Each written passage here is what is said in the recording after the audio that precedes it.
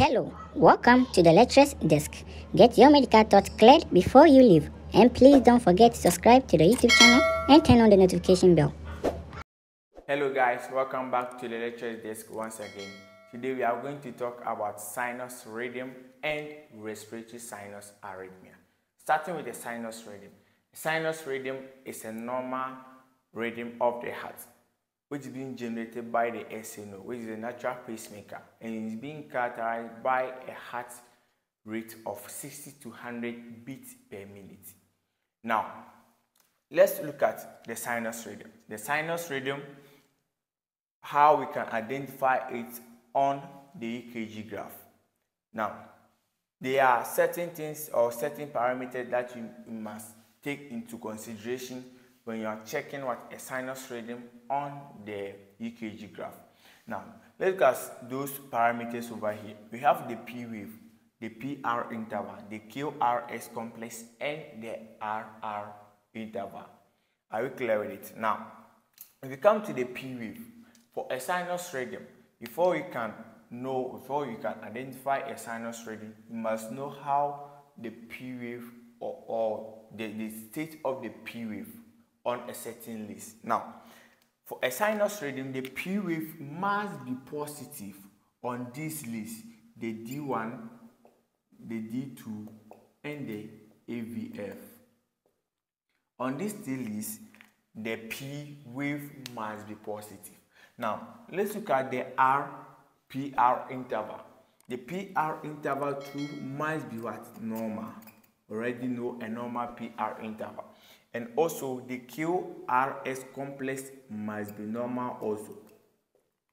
The RR interval or the distance between two QRS complex must be what regular.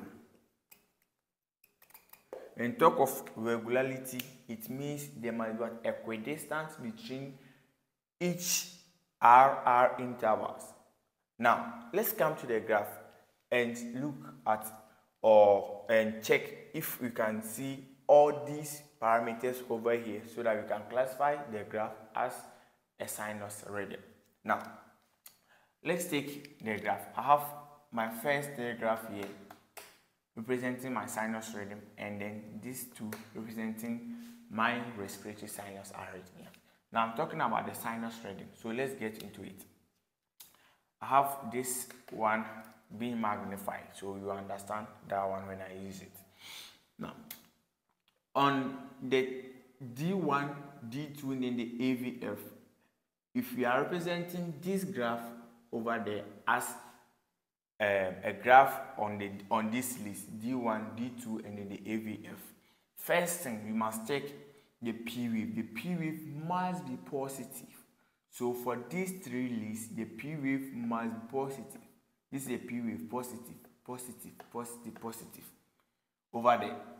Now, aside that, the second one is the PR interval. The PR interval must also be what? Normal. We know the normal PR interval, which is supposed to be between 3 to 5 small boxes. Are you clear with it? Now, aside that, let's come to the QR complex. The QR complex too must be normal. And also, each P wave, each P wave must have what? A QR what? Complex. QR complex. So this is our P wave. We have QR complex. PQR complex. PQR complex. Now, and then the lastly, the regularity between the RR so between one R and another R, there must be what? Regularity. That means there must be what? Equidistance between these QRS complexes that we have over there. So the distance between this and that must be equal to the distance between this and that. With that, we say there's what? Regularity or there's what? The RR waves, they are regular. Are you clear with it? So this is what an idea or this is how we can identify sinus rhythm on the graph. But a sinus rhythm can be a bradycardia or it can be what a tachycardia. The bradycardia is the state in which the heart rate instead of being 60 to 100 it is below that which is below 60 and then instead of being 60 to 100 it, when it is above 100 is being classified as a tachycardia now let's look at something over here. Let's take this graph. This graph if you look at it the distance between what the rr they are what? They are wide. Do you understand? But let's do calculation and see if it gives what?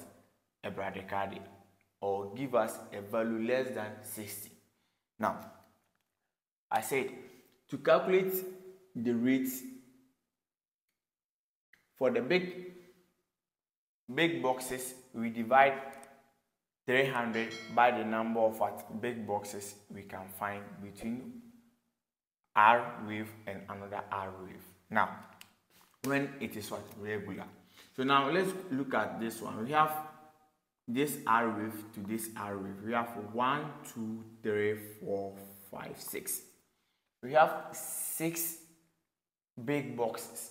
So with these six big boxes, you divide 300 by 6 and we are going to get what? 50 beats per minute. So this gives us what? A bradycardia so this graph is a bradycardia now let's come to this one and see. Now what is the distance between r and r how many big boxes can we find? We can find one two. Are you clear with it? We have one two big boxes. So and we have small one uh, box over there. That's one small box. Now if you divide 300 if you divide 300 by 2 you are going to get 150 do you understand? And then this 150 is above 100 so because of that we say it is what a tachycardia so the, the, the tachycardia is when it is more than 100 and then the bradycardia is when it's what less than um, 60. Now, we have conditions in which a sinus rhythm can be what in a tachycardia state or can be what a bradycardia state. Now, let's take some few examples. One, when the person having hypothermia, the person will get a bradycardia. Two, when the person having hypothyroidism, the person will also get what a bradycardia. And also, when a person is using certain drugs like um, beta blockers, the person will get a tachycardia. Or when the person a, a bradycardia. Or and then the, when the person is having a certain drug like digoxin, the person also develop what bradycardia. Now let's come to the tachycardia. Tachycardia, we have certain drugs like adrenaline, and then we have what salbutamol they also what increases what? The heart rate. It's not only that. We have heat. Heat increases the heart rate. We have exercise anxiety. They all contribute to the increment of the heart rate. So when a person having what? A sinus um, tachycardia sinus rhythm you must think of what these what things and when a person having what a bradycardia sinus rhythm you must think of what those ones that I have already mentioned. Now, let's come to the respiratory sinus arrhythmia. It's a variation from the sinus rhythm. It obeys all the rules over here. It obeys all the rules over here except this one. It is making it irregular. So we say it is what a variation from the SR which is the sinus rhythm. Now, what is it? The respiratory sinus arrhythmia. It happens when persons undergoing breathing. If you're undergoing breathing, you take in air, that's the inhalation, and then you give out air, which is what exhalation. During this process, there's what interaction between the respiratory system and the cardiovascular system. Thereby, in the in the process, there's increase in the intrathoracic pressure. And this causes the increment and what the decrease in what the heart rate giving what the irregularity. Now when taking air what happens? Is the vagus nerves that controls the SA node get inhibited. And be because of that there's what an increase in the heart rate. And then when you are give out air the vagus nerves become what? Free from the inhibition and then controls what? The heart rate. You understand? At the sinus node. Because of that in the in an exhalation you are going to get a slow heart rate. And then in an inhalation you are going to get what? An increase in what? In heart rate. But there's a difference between respiratory sinus arrhythmia and then the normal arrhythmias. And what is it? Respiratory sinus arrhythmia follows the pattern of what? The normal way of respiration. So as you take it there's an increment. As you give out there's a decrease. You take in increase. You give us is there's what? A decrease. So this pattern must give you the idea of the respiratory sinus arrhythmia. Unlike other arrhythmias or the normal arrhythmia that we know. For that one it doesn't follow the pattern of res respiration. Are we clear with it. If the, the, the if the person will be having a fast irregularity that fast irregularity will be what? Will be what? Continuous. And if the person having what? A slow irregularity that slow irregularity will also what? Continuous. But for the respiratory sinus arrhythmias there's what um, small portion which is what? Fast small portion which is what? Low another one fast another one low. So give what? The the the form of what? Respiration over there. Are we clear with it? Now so this is what? Basically how is it?